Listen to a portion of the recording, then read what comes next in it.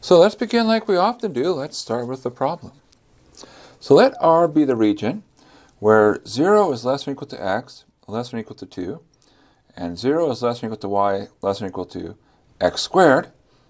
And we want to find the integral over our region R of 10y e to the power x to the fifth plus 12x cubed sine of 48y minus y cubed. All right. Now notice we're integrating over this region dA. They haven't told us what's the right way to integrate. In other words, should we integrate first with respect to x, or should we integrate first with respect to y? So we have two choices. So to help us figure out what we should do, let's get a quick sketch. So we're told y goes between 0 and x squared. So we can sketch in x squared. So here's y equals x squared. And x is going from 0 here out to 2, uh, which we'll say is here. And so that's our, our region. And uh, this would be at 2 squared, which is supposed to be 4. Well, okay, so not quite to scale, but that's okay. We just need to get sort of an intuition going on. Now, we can integrate in any order. So, as a reminder, what are the two orders? Well, we could integrate this way, so where we think about doing slices that way. Now, if we do it there, first, what are we doing? Well, that says we're moving x going from 0 to 2. So integral 0 to 2. And then y goes from 0 up to the top. So y would go 0 to x squared of stuff, whatever that turns out to be, dy dx. Our other option is to slice in the other way. So in other words, if we were to slice this way. Now if we do that, what's happening? Well, here we're going to have our slices are with respect to y. So y goes from 0 to 4, and x goes from, well, whatever that curve is, x goes to 2 at the end, so that's the upper bound. So what's that curve? Well, if y equals x squared, x is the square root of y. Now actually x is plus or minus the square root of y. The minus square root of y is that side over there. So we're going from square root of y up to 2 of, again, stuff. But that would be first with respect to x, then with respect to y. So those are our two options. Now let's think about which one we want. So this one says uh, if we would like to integrate first with respect to y, this one if we want to integrate first with respect to x. And looking at our, our, our choices here, we say, huh, this part right here, this is really lousy to integrate with respect to x. e to the x to the fifth, how do you do that? See, we, we would prefer this one would be first to it with respect to y, because that's an integral you can do. You always prefer the one you can do. And since we can integrate with respect to y, we prefer to integrate first with respect to y. On the other hand, this one, let's look at that. Here, the x part, super easy. But the y part, sine of 48y minus y cubed, ugh. So here, we would prefer to do what? Well, we would prefer dx dy. So which one is it? Do we go dy dx, we make the first term happy, or do we go dx dy and make the second term happy? What's the right answer? And the answer is, we do both. What does that mean? Well, remember, integrals, we can break them up over addition. So because we have that addition, we can say, look, this is the same as the integral over our region of 10y e to the x to the fifth dA plus the integral over our region of 12x cubed sine of 48y minus y cubed dA. So we can break our one integral into two parts. And why? Well, because for each part, there's a preferred way to do it. And we should always say, look, you always want to make things happy. Go with their preferred way. So now let's just uh, work through. So the first integral, we're going to rewrite that. Remember, this is one where we prefer dy dx, so we're going to use the first option. So, give ourselves a little bit of space.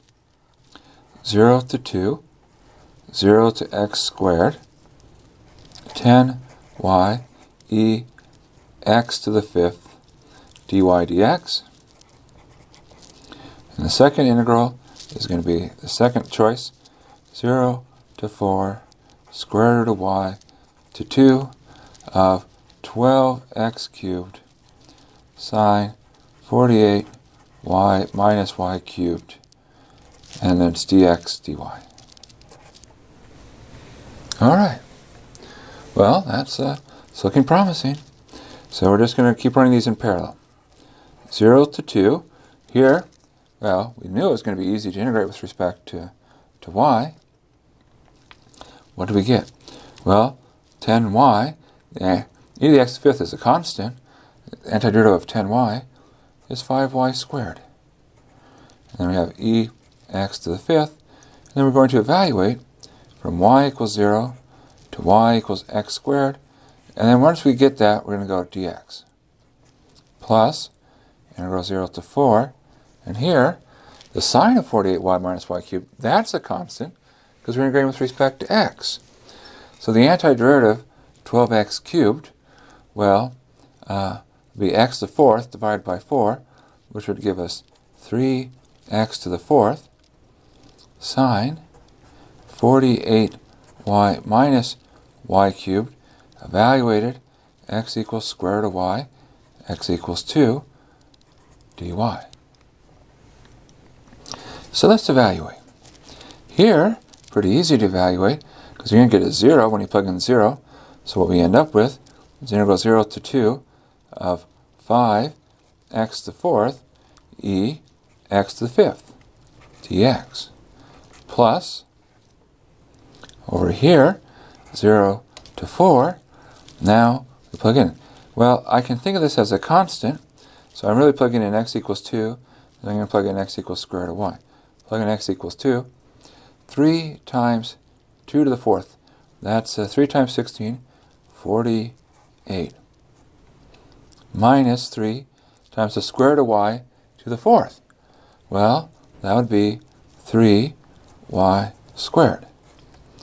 Then I have sine of 48y minus y cubed dy. Now we're happy. We say, okay, now previously we said this e to the x to the fifth, terrible. This sine of 48y minus y cubed, dreadful. But now we're like, lovely.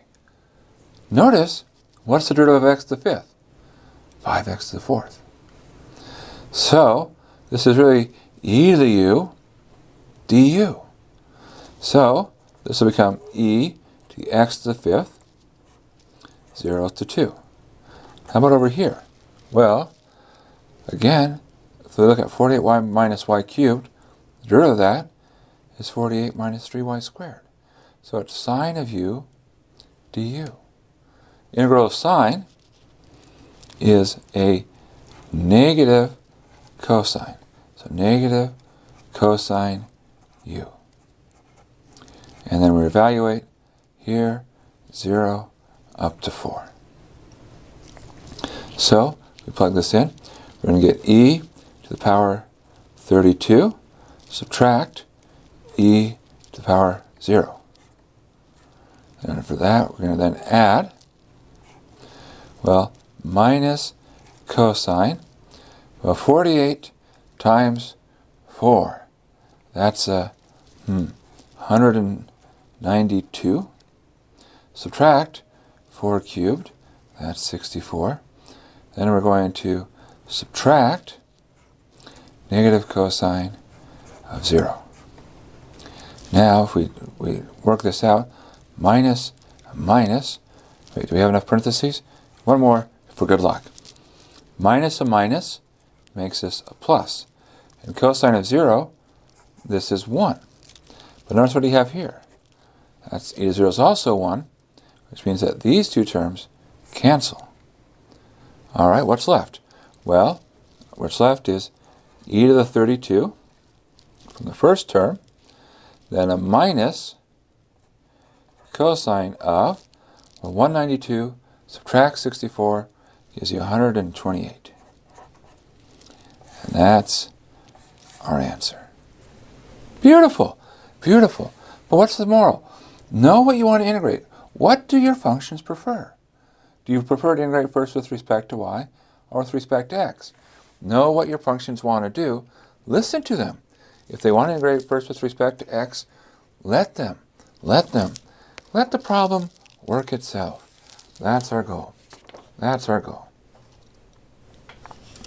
Now, what we want to talk about today is we want to talk about uh, integration in a different coordinate system. So we're going to be talking about polar coordinates. And in particular, how can we do integration in polar coordinates? Now, you might say, why do we want to do integration in polar coordinates? And there's a couple reasons why.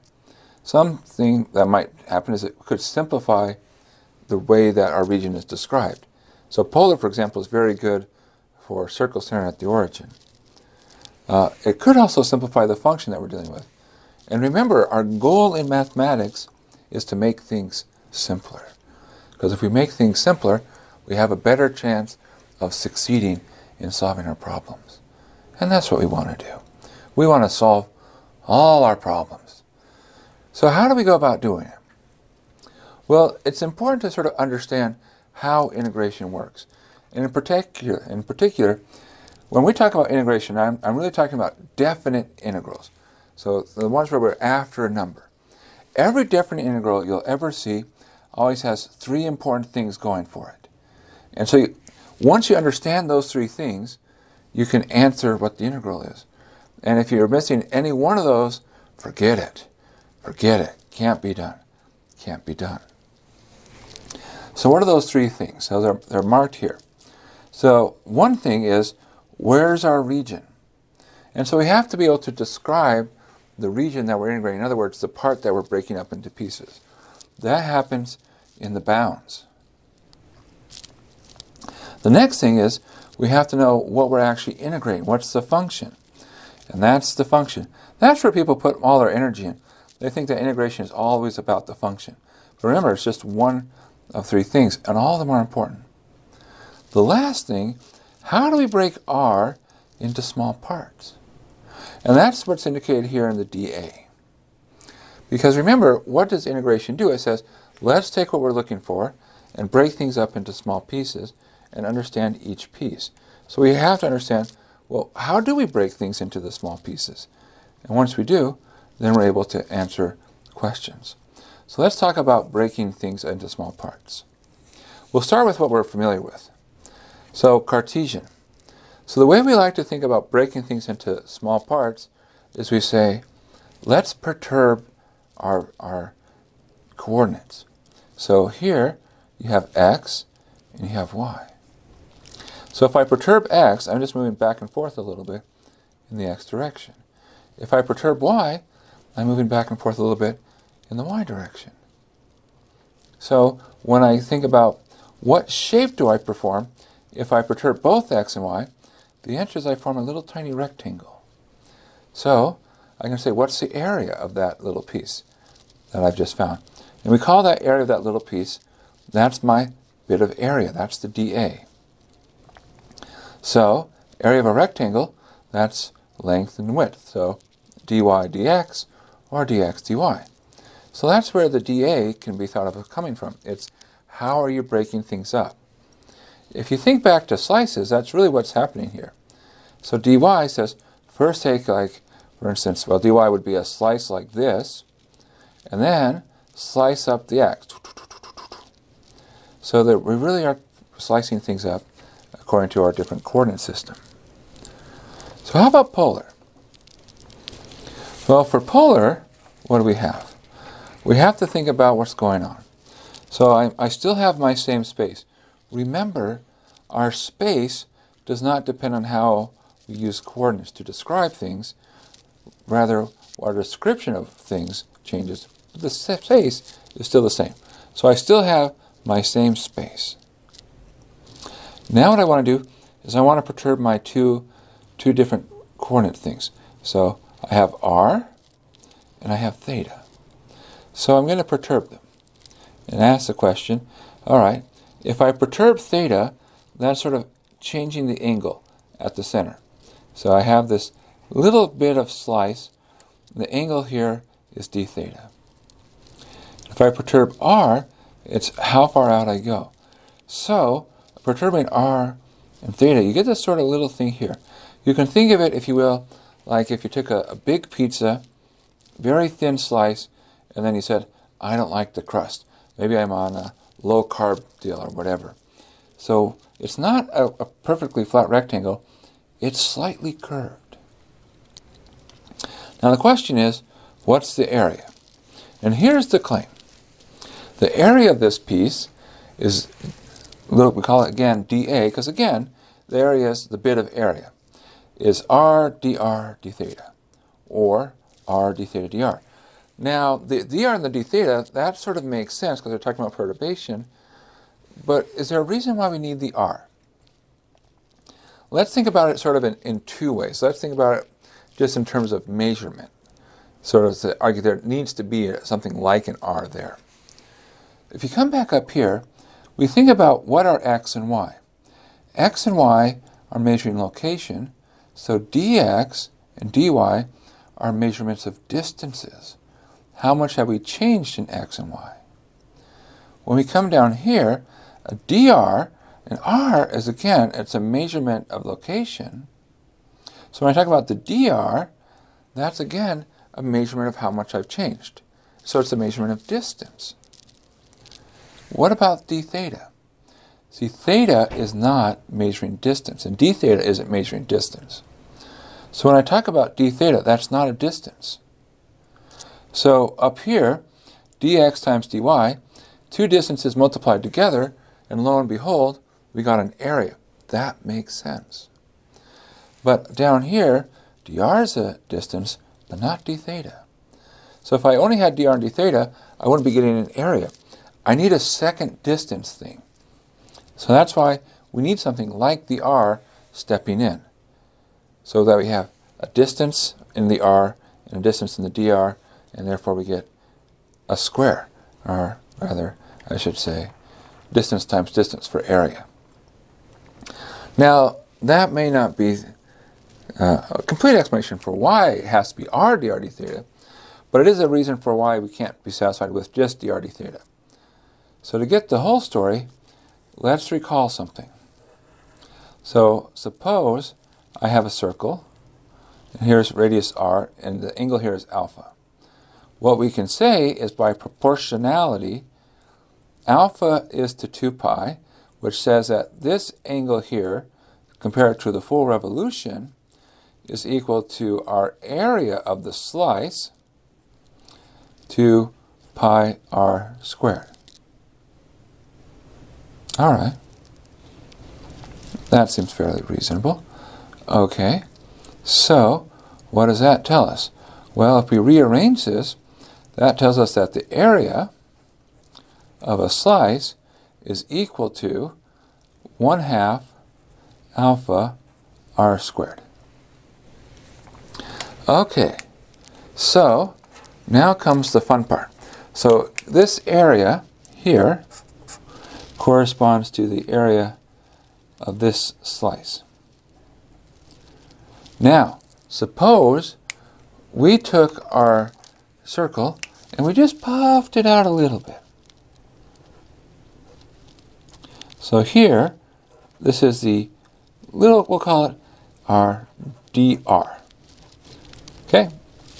Other words, I just boop, boop, you know, just a little bit, just boop. Okay.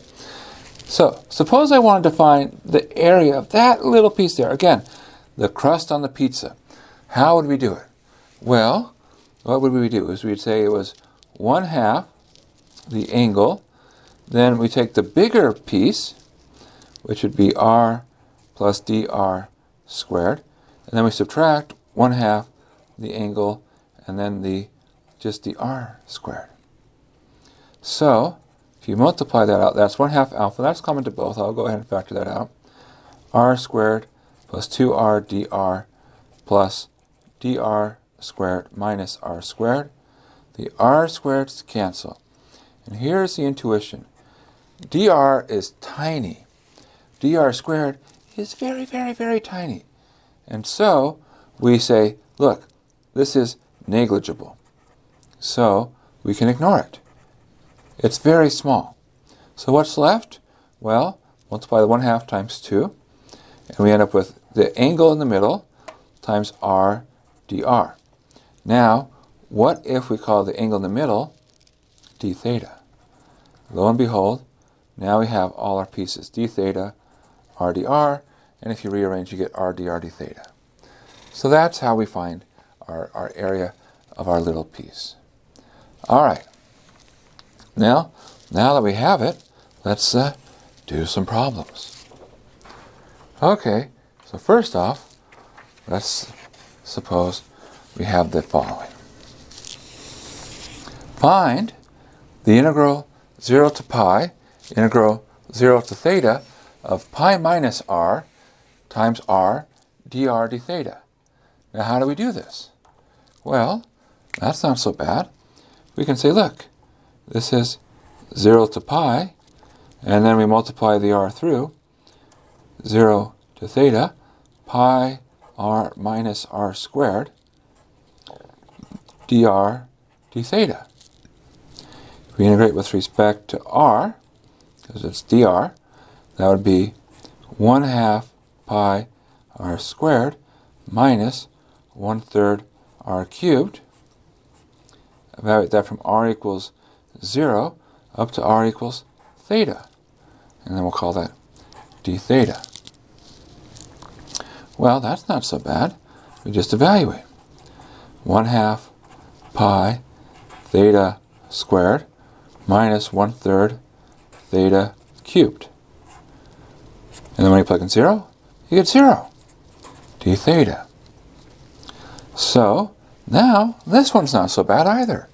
We integrate, we're going to get 1 6 pi theta cubed minus 1 12th theta to the fourth, evaluated from 0 to pi, which is 1 6 pi times pi cubed is pi to the fourth, minus 1 12th pi to the fourth. And when you plug in 0, you get 0. So our final answer, 6 minus the 12th, is 1 12th pi to the fourth. Now you might say, wait, where did polar coordinates come in? And the answer is, it didn't come in. See, once our integral is set up, we integrate the same as before. The only difference between what we did from previous times is that instead of having x's and y's, we have r's and thetas. See, once the integral is set up, integration is integration. So at this point you're saying, oh, okay, so how do we use polar in this problem? Well, the question can become, what does this mean? How do we interpret? What's the right, right way to interpret what's going on? Now, you can interpret it in many different ways depending upon how you think of your coordinate system. If we were to think of this in terms of polar, then we can start thinking, oh, we could say that this first part, this we can think of as our dA. And then this part right here, well, that's telling us what our behavior is. So, for instance, the bounds, 0 to pi, that's our theta bounds.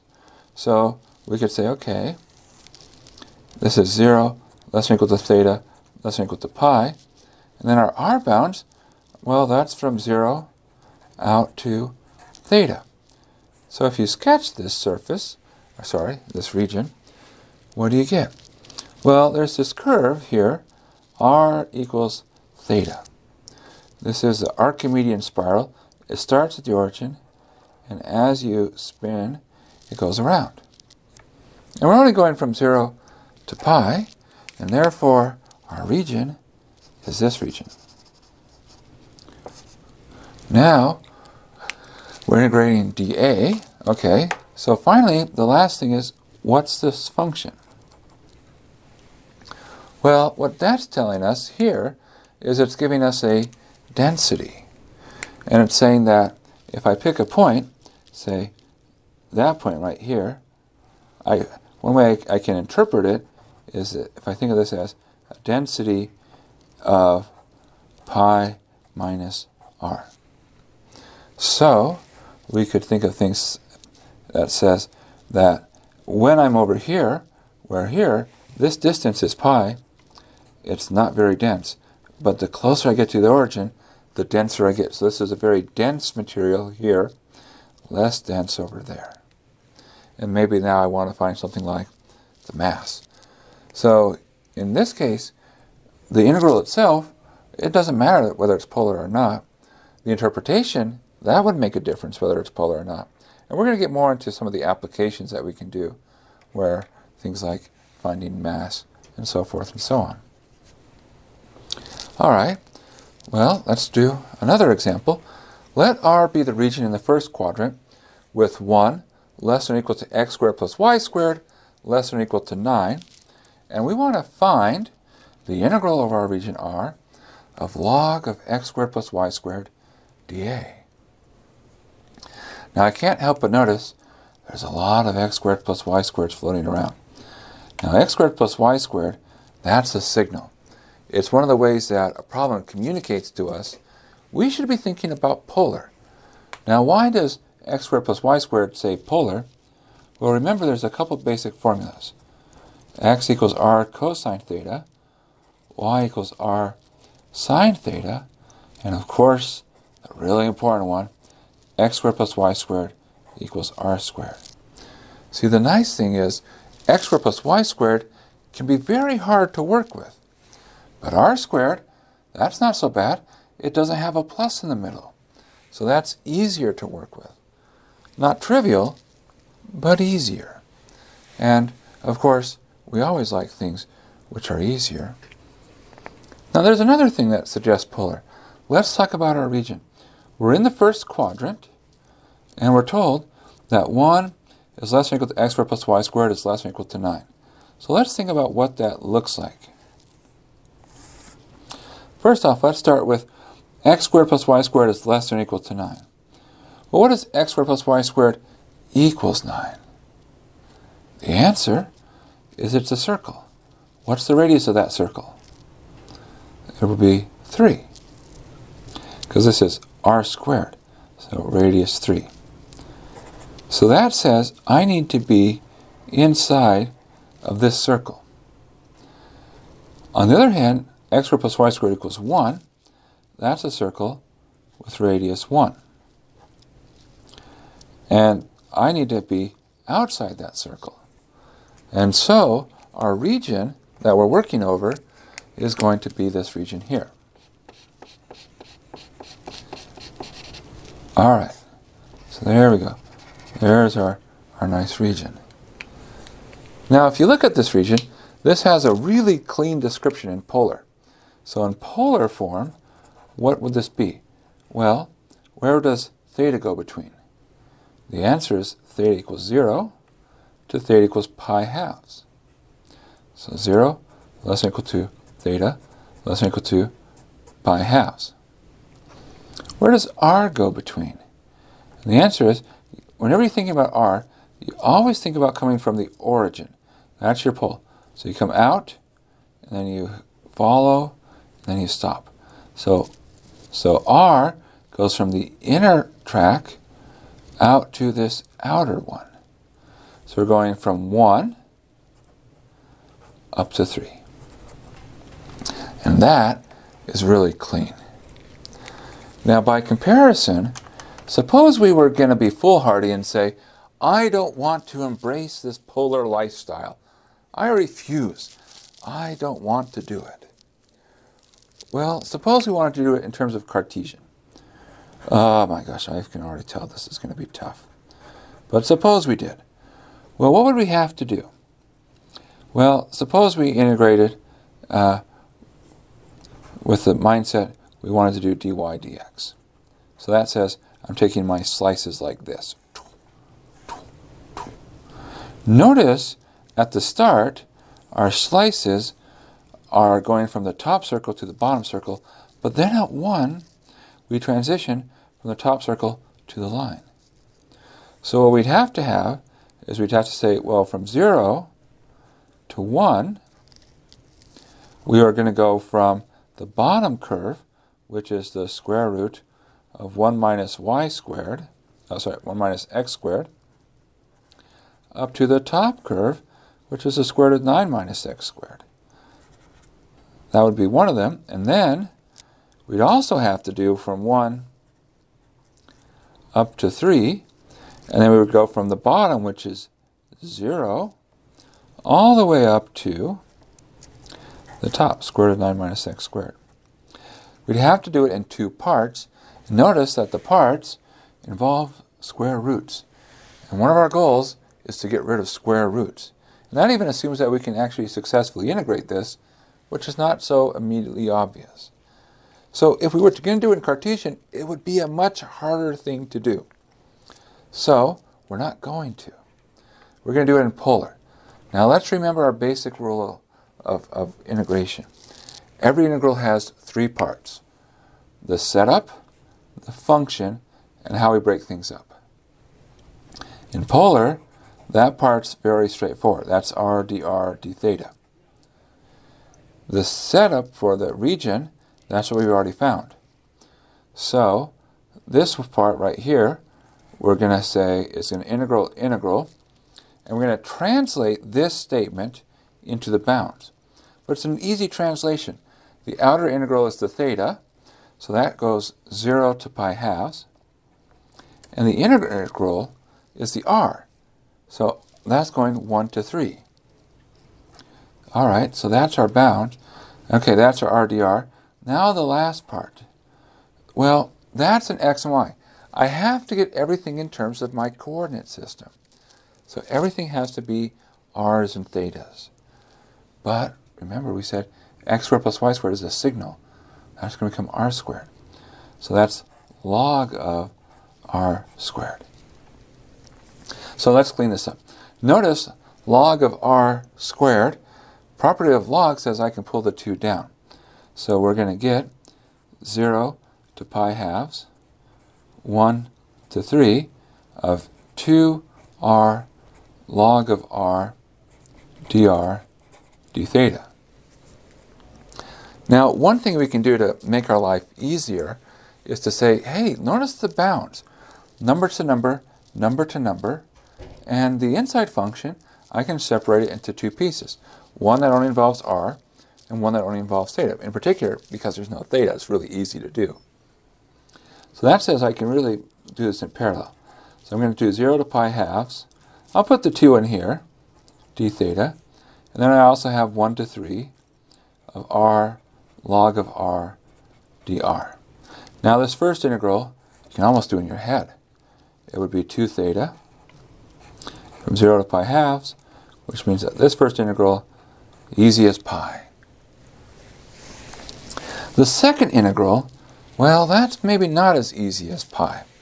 And r log r, this is an integral which you should be able to do, we hope, but if not, we wouldn't expect you to do it in a test. We'd give you a hint. Do you know how to do this one? What do you need to integrate r times log r? Given that there's two parts.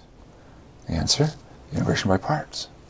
Okay, so maybe we'll do a little bit of work down here in this corner. All right, so if you wanted to do the integral of r log of r dr, you can say, well, one of these things is easy to differentiate. We'll make that our u. The other one, well, not hard to integrate, dv. So, what would our du be? Our du would be 1 over r dr. And our v is 1 half r squared. So this would be uv 1 half r squared log of r minus the integral of v du. So 1 half r squared times 1 over r dr. But notice you can cancel an r, and now that's an easy integral. So you get 1 half r squared log of r, and then minus a half, and integrate r, you get another half, so that's minus a fourth, r squared, and then plus c. Okay? So, back to our regularly scheduled problem. Here we go. This is going to be 1 half r squared log of r minus 1 fourth r squared, evaluated from 1 to 3. If you plug in 3, you'll get 9 halves log of 3 minus 9 fourths. Subtract, if you plug in 1, you're going to get 1 half times 1 times log of 1. Log of 1 is 0. Then you're going to have minus 1 fourth. Well, minus 9 fourths minus minus makes plus 1 fourth. So this would become minus 8 fourths. Or 2, minus 2. So our final answer, if we put this all together, is pi times 9 halves log of 3 minus 2. That's it. And we're done. We're done. Good. And it wasn't so bad. I mean, yes, we had to do integration by parts. But could you imagine having to work with these bounds? Ugh, no, you don't want to imagine. It would be terrible. Terrible. Be smart. Don't start. Okay. Well, let's do uh, another one. Fairly similar problem, I think, because we see right away our eye is drawn x squared plus y squared. Even without thinking, it's like, ooh, x squared plus y squared. We're probably going to want to do something polar. Now notice, we, we in the past we talked about, hey, sine of x squared plus y squared, should I integrate first with respect to x or with respect to y? And the answer is, they're both terrible options. We can't do it. You can't integrate sine of x squared plus y squared. Ugh, too, too tough, too tough. But maybe something can happen. So what can happen here? Well, let's look at our region. Because remember, every integral, you have to, our three parts. Our function, here's our breaking this up. So this part right here, that's our dA. So how are we breaking things up? Well, we're being told that y goes from 0 up to 1. So let's say that's 1.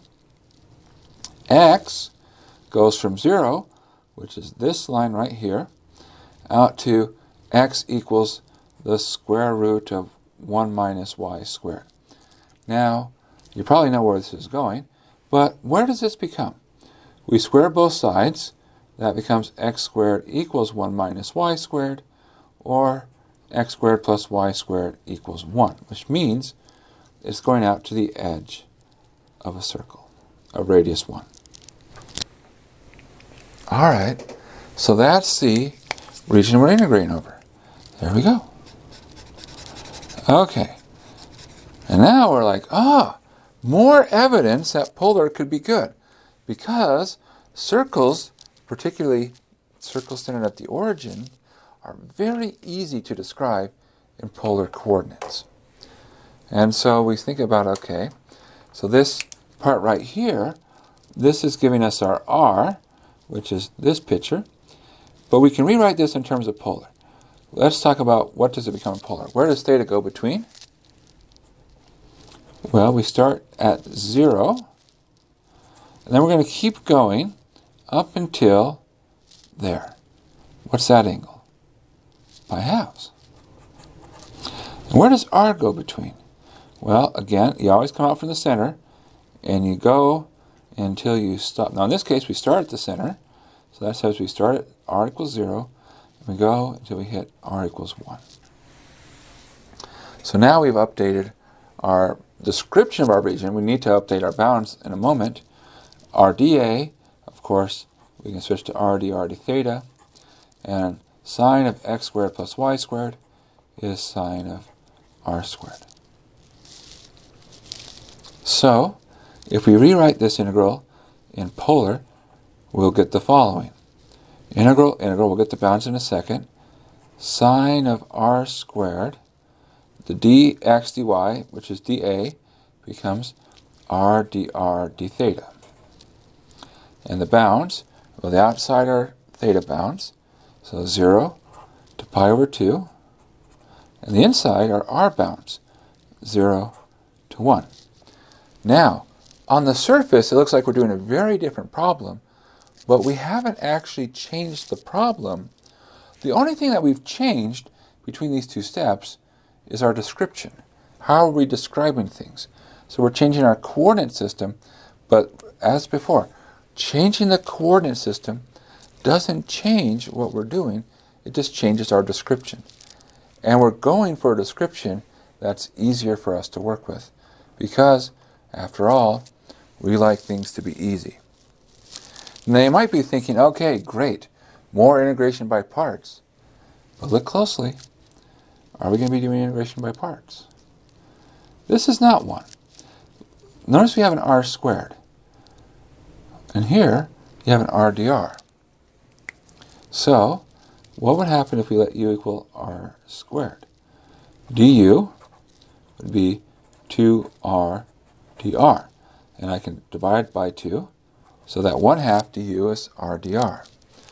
So, on the outer layer, 0 to pi halves. The inner layer, that's the, and the inner layer is what we're working on right now. This is the inner layer. That's going to come in terms of u. The r dr, well, that'll become a 1 half du. Sine of r squared becomes sine of u. And the bounds, well, uh, these bounds, these are old bounds. r equals 0, r equals 1. These are the r bounds. They're not the new bounds, they're the old bounds. So we're going from 0 to 1. r equals 0 to r equals 1. See, the new bounds are going to go from u equals something to u equals something. So it's no longer going from 0 to 1. Now we're going to go from 0 to 1. Of course, we did actually update our bounds. So again, let's not, let's not pretend like we didn't do something. r equals 0 to r equals 1, u equals 0 to u equals 1. It doesn't feel like we changed our bounds because it just happens that 0 squared equals 0 and 1 squared equals 1. It's just a coincidence. Remember, always update your bounds if you're going to do substitution. So, 0 to pi halves, integral of sine is negative cosine. And we're going to evaluate that from 0 to 1. And uh, I should have said u equals 0 to u equals 1. And do that d theta. And uh, we'll end up with integral 0 to pi halves. And here we're going to get minus 1 half cosine of 1. And then we're going to subtract minus 1 half cosine of 0. Now, if you look at that, that's just a number. So whatever that number turns out to be, and you can simplify, cosine of 0, by the way, is equal to 1. So minus minus makes a plus. So this is going to be 1 minus cosine of 1 all over 2. That's that number. Then the integral d theta is theta from 0 to pi halves. So our final answer is 1 minus cosine of 1 times pi over 4. Because we're going to have a half, and there's a half there. Together they combine to give us a divided by 4. And there you go. And that wasn't so bad. And look, we couldn't have really started this problem polar. Because no matter if we did dx dy or dy dx, we'd still have the same problem. How do you integrate sine of x squared plus y squared? And the answer is you don't. You can't do it. But by changing the way we describe the problem, we went from something we can't do to something which was straightforward to do. That shows you the power of descriptions. And that's why you have to have that flexibility. How do you describe things? How do you make things work? All right, well, this looks like a very different problem. Find uh, C, so we're looking for a number, so that the volume for the set of points with x squared plus y squared less than or equal to z, less than or equal to c, is 8. So let's think about what this is saying here. Let's try to understand what these points look like. Well, x squared plus y squared less than or equal to z. Now, x squared plus y squared equals z, that's not so bad. It's three-dimensional thing, and the x squared plus y squared equals z, that's one of our sort of go-to examples. That's going to be what we call the paraboloid, or more affectionately, that's the bowl. So this is z equals x squared plus y squared. Now, I want to be x squared plus y squared less than equal to z, which means I want to be in the bowl. It's like I'm pouring points into this bowl. Okay? Now the other part says I want to be below z equals c. So z equals c is a plane. So what we've done is we come through here and we have this plane z equals capital C. And what will happen is that this is going to hit at some point. And so what we have is if we're going to be in between these two things, we're going to end up with the set of points that essentially what we've done is we've raised the level inside the bowl up to a height of C. And our goal is to say, well, how should we set C so that the amount of stuff in the bowl is 8? So it's kind of interesting in that previously we said, oh, here's our region, find our volume. Now we have, here's our volume, figure out what the right setting is for the region. So we flipped it around. What a fun time. Okay, so let's think about how we can proceed. Well, we want to find volume. Now, the basic idea for finding volume is we can say, we've been doing this. What we do is we integrate over our region, our height, dA. Now, what's our region? Well, our region, think about what would happen. So, stare down the x-axis. So you're looking down the x-axis. And if you look straight down the x-axis, what you'll see is that this circle where the things intersect, you're going to get that projected down. That's our region down here in the xy plane. So this part down here, this, this is R. So what is R? Well, R is where x squared plus y squared uh, the boundary, the edge, is when we equal C, so we want to be inside of it. So our region is x squared plus y squared less than or equal to C. So this is R. That's R. And now we're like, ooh, that's really good for polar because of x squared plus y squared. Now, I don't want you to leave today and think, hey, if it's polar, it's always going to be x squared plus y squared. It doesn't have to be the case, but it's, it's going to feel like that after we finish, just because it's a kind of our, our go-to example. It's one that gets used extensively. All right, so now we say, okay, polar, polar, polar's on our mind. So if we think about this in polar, we say, okay, in polar, our region becomes, well, theta, and if you think, or again, it's a circle of radius uh, square root of c. So on polar, we're going to go all the way around. So theta goes between 0 and 2 pi. Then r, that's how far you go out from the center. We're going to go from 0 all the way out to our radius. So 0 less than equal to r, less than equal to square root of c. So that's our region. Our dA because we're going to do polar, that's r dr d theta. And now the height. Well, the height is going to be the difference between these two surfaces. So I'm going from this top surface down until I hit this bottom surface. So it's how far apart these two surfaces are. So what we do is it's the top, C, minus the bottom. Now normally the bottom is x squared plus y squared, but because we're going to go to polar, that's going to become r squared. So, what do we get? We get 8, which is our volume, is equal to the integral, integral, c minus r squared times r dr d theta.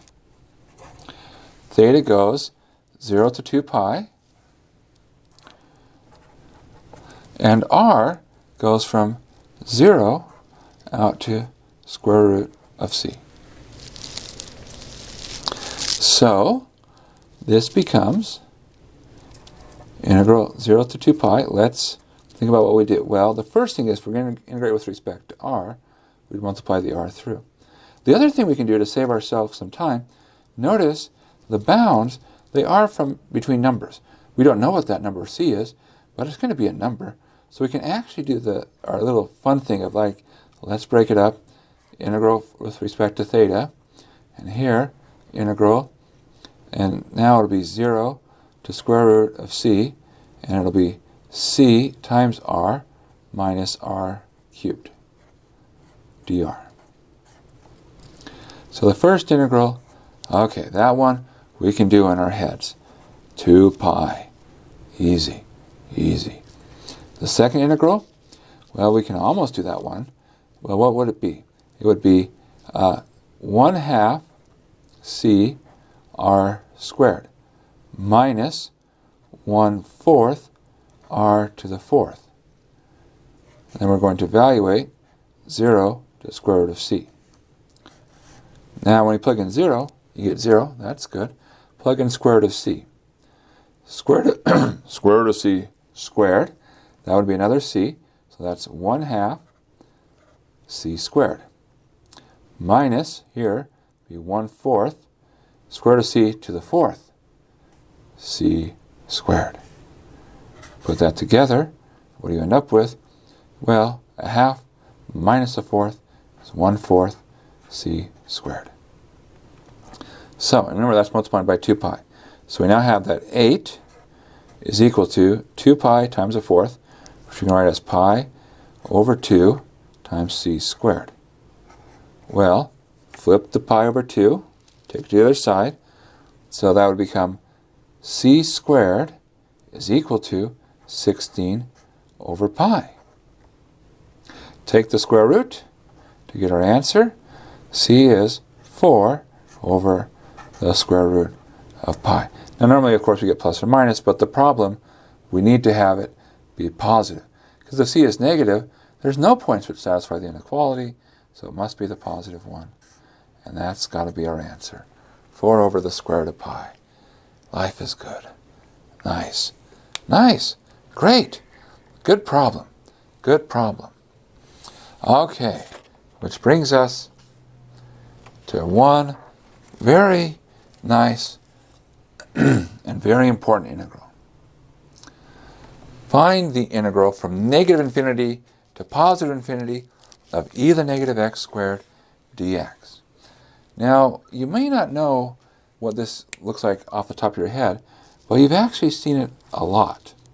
So e to the negative x squared, as you head x towards infinity or negative infinity, it gets very, very small. In fact, it gets small very quickly, which is why we have a hope for it to being finite. But when x is 0, it's not so bad. So it turns out to be 1. So what it looks like is it looks like something like this. Now you might say, what is that? You say, I've seen it before, but, but what is it? And uh, normally, this is where I give you a hint and try to, to tell you what it might be.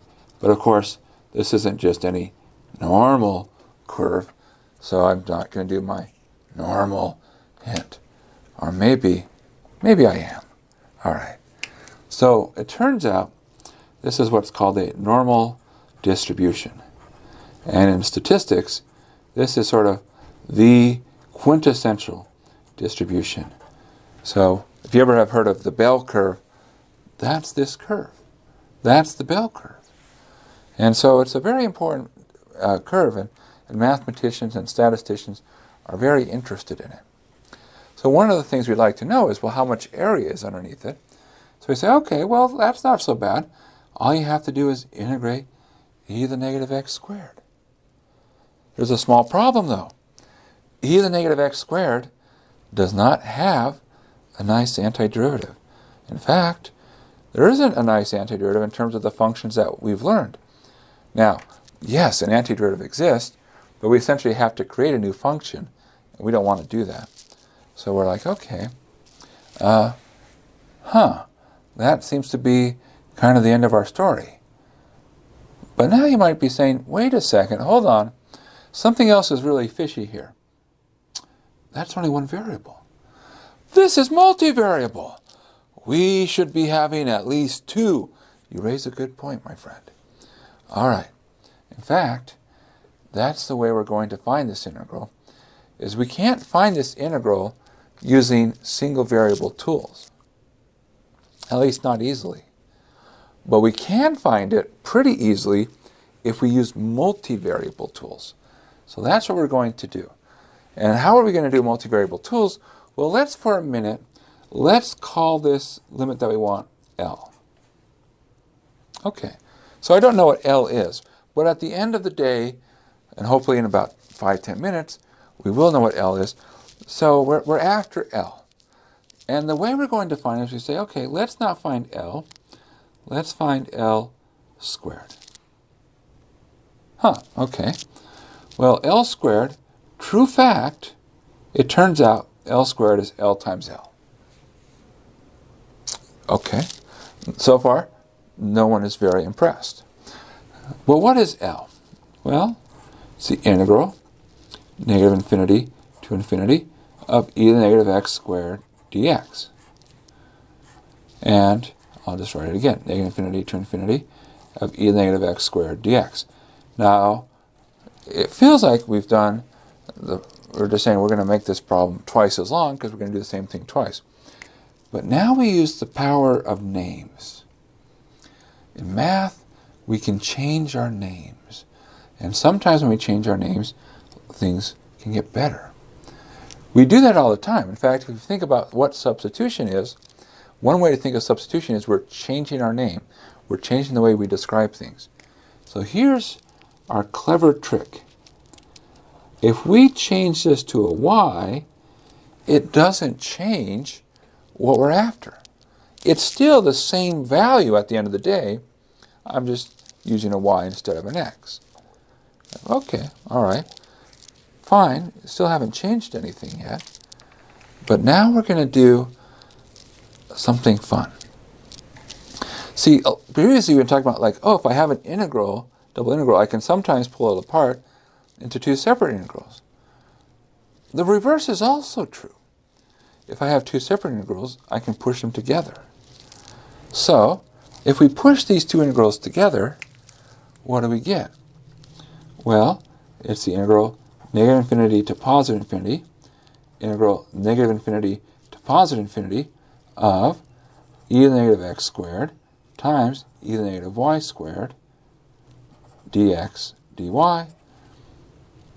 And this part, you can combine it because the powers of exponents, you'd add the exponents together, it becomes e to the negative x squared plus y squared.